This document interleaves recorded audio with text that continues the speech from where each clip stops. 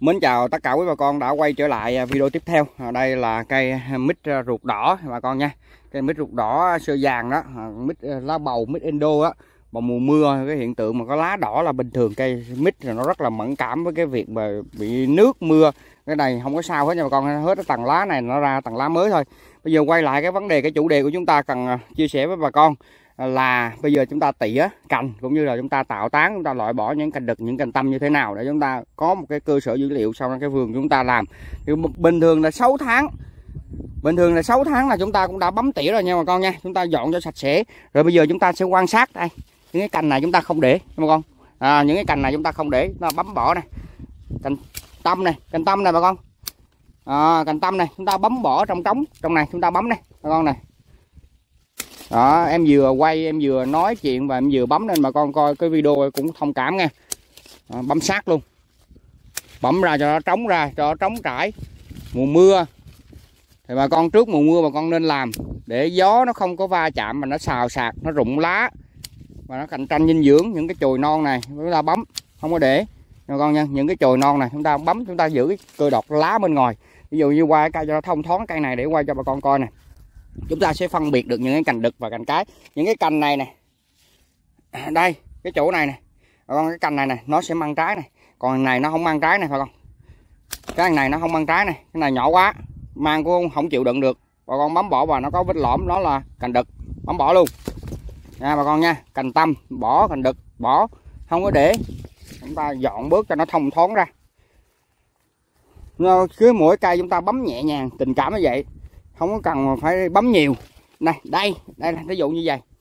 Nè con này đây là cái cành đực này nó lõm này nó có vết lõm còn cành cá chúng ta giữ lại. Những cái cành tâm chúng ta bỏ đi. Đây cành này, cành tâm. Những cành chồi non này chúng ta bấm bỏ ở trong chúng ta làm trống ở trong thân ra. Không cạnh tranh dinh dưỡng chúng ta bấm cho nó trống trải ra. Còn những cái dây thú địch dây leo rồi chúng ta bỏ đi đây, bên này cũng vậy. Chúng ta để, chúng ta nhìn, chúng ta quan sát những cành tâm, những cành nhỏ. Và chúng ta bấm bỏ đây, cành nhỏ này, chúng ta bấm bỏ đi. Bấm bỏ nha. Cành tâm này bỏ này. chúng ta làm cho nó trống. Mỗi cây chúng ta bấm dài phát cho nó trống cái cây ra. Mà bà con nhìn thấy này, những cái cành này. Này, đây để làm chi đâu? Đây, nhỏ xíu xíu này, để làm chi đâu? Cành tranh dinh dưỡng chúng ta bấm bấm bỏ bớt chúng ta giữ là những cái cành chính thôi những cành nào để mang trái thôi. Hầu như cây mỗi cây chúng ta muốn đi. Đây đây bà con. Nhỏ này tâm này à, bỏ này cành tâm này cành đực này. Đó chúng ta dọn. Đây những cái chùi nhà chúng ta dọn đi. Chúng ta bấm để chống trải cái vườn của mình. Bấm xong rồi chúng ta kéo ra. Dụ qua bên này coi có không? Đứa tay bấm vài cái chỗ vườn ra rượt chạy chơi. Hết rồi ông cũng bấm cũng bấm à, cơ bản sơ sơ rồi.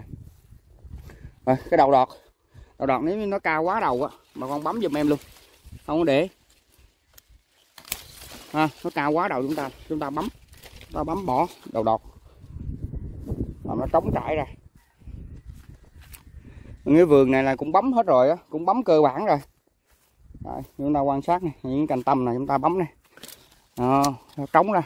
Chùi cái chùi nào nó nằm ở trong mình cứ nó chọt chọt ở trong thân là chúng ta bấm hết. Thấy coi này nó có cành đực không? Không vườn này cái khúc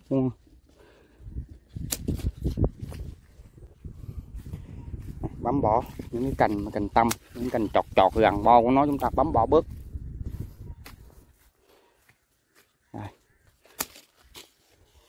nó không cái cạnh tranh dinh dưỡng bấm nên nó không để nó khỏi cạnh tranh dinh dưỡng. Và con biết không? Nó nuôi nó, nó dùng tổng lực để nó nuôi à, cái, à, cái cái cành cái của mình cho nó bự. Mùa mưa thì nó cây mít nó hay mẫn cảm với với với nước mà nó hay bị bị bị bị vàng. Do nó bị sốc cái bộ rễ đó nhưng không sao chúng ta phục hồi lại bình thường. Mưa thì chúng ta mưa là mít nó vậy đó. Ừ, cành tâm chúng ta bấm trống ra để nó mang mai mốt nó mang trái. Ở trong chúng ta trống còn ngoài chúng ta khỏi trồng. Nha bà con nha ở ngoài này bộ lá nó sẽ để có bộ lá để mai mốt nó nuôi trái.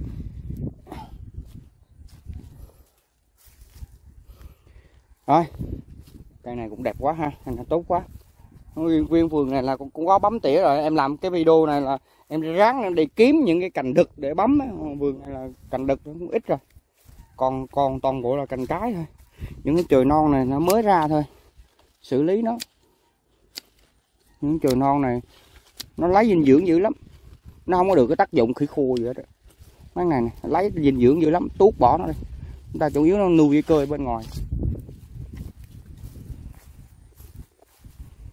Qua bên này bên này thấy chồi non quá trời này đó mấy chồi non nó ra này chúng ta tuốt bỏ những cái chồi non này ra. Nó nằm ở trong này mai mốt nó um tùm không? nó ôm tùm nó lớn lên nó cạnh tranh dinh dưỡng nó hút hết dinh dưỡng rồi nó ôm tùm. Mấy cái chùa này chúng ta dọn tôi kéo tôi bỏ hết. Đây là một, một cái cành tâm ta bấm. Đây cành đực này bà con. Đây bây giờ nãy giờ mới thấy cành đực ở trên đây này.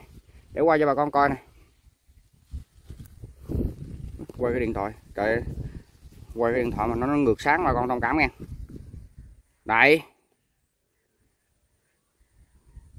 À, con nhìn thấy cành cành đực ha cành đực nó có lỗ lỗ đó.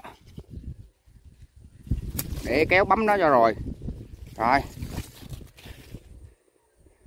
Còn cành cái nó liền nè. Cành cái nó liền nè. Còn nhớ ha. Cành cái liền chủ yếu tập trung chúng ta nuôi cành cái. Cành đực là chúng ta bỏ đi. Đây, cành tâm này nó bấm không thoáng. Cái cành đực này có lỗ. Còn cành cái nó liền thân còn nó ở trong này á, chúng ta bấm đi. Nó cứ nó nằm ở trong này là chúng ta bỏ hết mấy cái này đi. Bỏ. Nó chĩa chĩa chĩa chĩa ở trong là chúng ta bỏ chúng ta làm sao chúng ta nhìn ở trên xuống từ trên xuống dưới chúng ta nhìn nó thông thoáng. Mệt quá bà con ơi. Bà con cần gì? Tư vấn kỹ thuật bà con có gọi vào số điện thoại trên màn hình nha. Còn những cái cành như này sát bo bỏ đi. Cành tâm cành gãy cành bệnh chúng ta bấm bỏ. Đây cành nó bỏ cành này nè. Cành tâm này, nhỏ này bỏ đi. Nếu mà cây chúng ta nó cao quá cao quá cao á chúng ta có thể bấm hạ nó xuống bấm thấp xuống không sao hết. Bấm thấp thấp nó xuống hạ nó xuống để gió nó khỏi đổ ngã mà sau này á. Cây chúng ta nó to cái gốc. Nó không dùng cái dinh dưỡng lên trên đây. Nó không dùng không dùng dinh dưỡng hết lên, mà nó sẽ tập trung dinh dưỡng, nó nuôi cái gốc cũng như là nuôi cái cành cành cá của chúng ta. Nó bấm đọt được hết nha bà con nha, không sao hết. Cứ nó cao quá đầu rồi chúng ta bấm bấm nó dồn dinh dưỡng. Cứ ngang cái tầm tay của mình là mình bấm được rồi, ví dụ để dồn dinh dưỡng nó hạ thấp xuống. Rồi à, một cái video mà nhỏ nhỏ chia sẻ với bà con còn tình trạng mà lá mà mùa mưa vậy không có sao hết á. Cây mít này nó mẫn cảm như vậy đó, không sao hết. Mưa thì chúng ta cứ khống chế nó xong rồi chúng ta đi lại. Nhưng mà chúng ta làm sao mà cái vườn của mình nó thông thoáng. Nó tự ra cơ đọt mới thôi. Những cái cành tâm, những cái cành chĩa chĩa ra này không đó, chĩa chĩa vậy, chúng ta bấm bỏ nó trống ra. Nó cứ chĩa lên này, bên này cũng vậy nó chĩa lên trên là chúng ta bấm bỏ ra. Còn nó đưa ra bên ngoài thì không sao. Nếu ở trong này chúng ta nhìn thấy nó um tùm quá nó chĩa lên. Ai những cái cành này này? Nó bấm bỏ đi. Nó cứ chĩa nằm ở trong là chúng ta bỏ đi. Chúng ta giữ lại mấy cành, cành cái thôi. Để nhiều quá nhiều cành quá đó. Để nhiều cành mà cành đực cành cái cành tâm rồi tùm lum hết á. Nó cạnh tranh dinh dưỡng mà nó không có lớn. Cứ cành nào cũng nhỏ hết sau này nó mang trái không không không có năng sức. Nó bị phân phân tán dinh dưỡng á giữ lại những cái cành lớn nè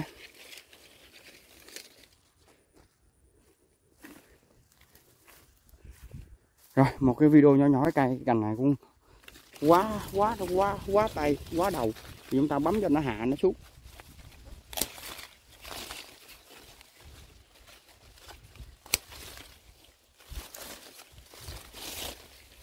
Xuống để sâu rầy. Khỏi tập trung ở trên đọt chúng ta, phun đọt sâu rầy trên đó. À, cái này nhìn nó thông thoáng.